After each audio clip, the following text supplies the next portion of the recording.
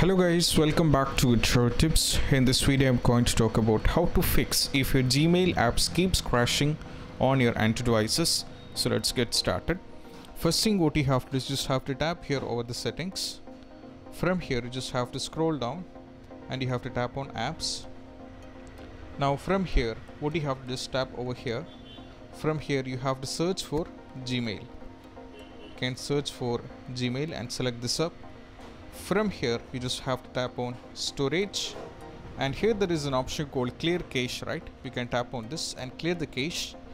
And most probably see whether this is going to work or not. And if it's not going to work with me, then we have solution. If it's not working then we have solution more. So what you have to do is you just have to tap over here. You just have to tap over here on the place uh, we have two methods. The first thing is just have to tap over here in the settings and from here what you have to do is just have to check for the software updates. And you can go for uh, software about phone you can go over here. And you can check about sorry you can go over here system and updates. And from there is an option called software update right?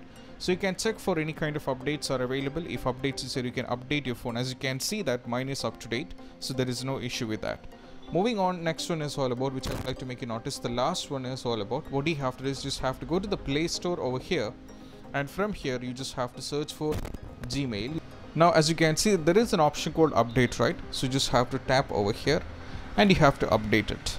And once updated successfully done you just have to check whether you're having any problem with this one.